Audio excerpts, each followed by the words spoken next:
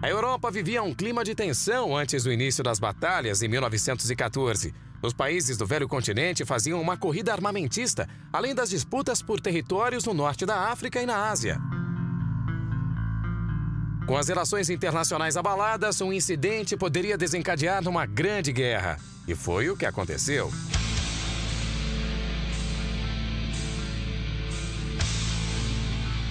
Francisco Ferdinando, arquiduque herdeiro do trono austro-húngaro, foi assassinado no dia 28 de junho de 1914 em Sarajevo. Um atentado político organizado por um estudante nacionalista sérvio fez com que o Império Austro-Húngaro declarasse guerra à Sérvia um mês depois, dando início assim ao confronto.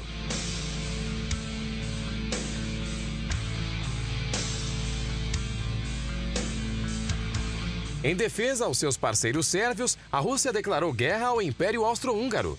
Em resposta, a Alemanha declarou guerra à Rússia, Bélgica e França.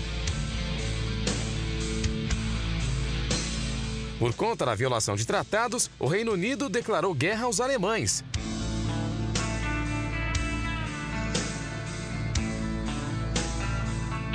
O continente europeu ficou dividido em duas forças, Tríplice Entente e Tríplice Aliança. A primeira parte era formada por forças britânicas, francesas e russas, enquanto a Tríplice Aliança era formada pela união de Alemanha, Áustria, Hungria e Itália, que mais tarde trocou o lado na guerra. Os conflitos também mobilizaram os Estados Unidos e o Japão, além das colônias europeias que entraram na guerra mais tarde,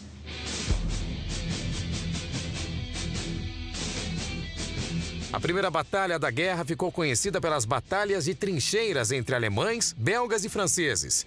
As principais batalhas da Primeira Guerra aconteceram em território francês.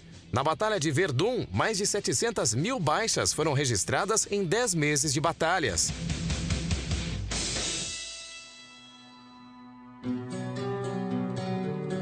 Em Somme, os conflitos duraram cinco meses e foram considerados os mais letais. Mais 1 milhão e 200 mil vítimas entre mortos e feridos para ambos os lados. Com a corrida armamentista, o uso de novas tecnologias eclodiu na segunda metade da guerra, como o uso de aviões, tanques e metralhadoras. A presença dos norte-americanos na segunda metade do confronto mundial desestabilizou a guerra a favor das forças franco-britânicas. A segunda batalha de Marne marcou o início do recuo geral das forças alemãs. Os exércitos aliados conseguiram barrar o avanço do exército alemão em um conflito que causou centenas de milhares de baixas em ambos os lados. A Primeira Guerra Mundial também ficou marcada pela queda dos impérios da Alemanha, otomano, russo e austro-húngaro durante os conflitos. Os armistícios foram assinados em 1918.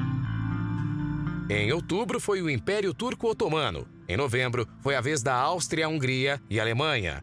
Depois de quatro anos de conflitos, estima-se que pelo menos 10 milhões de pessoas morreram e 20 milhões ficaram feridas.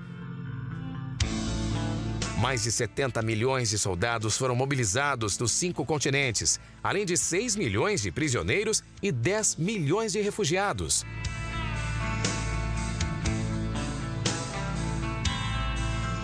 Um ano depois do fim dos conflitos, foi assinado o Tratado de Versalhes, que impôs condições de paz aos países, sendo as mais pesadas a Alemanha. Os germânicos foram desarmados, perderam territórios, foram ocupados e pagaram altas indenizações pelos custos da guerra.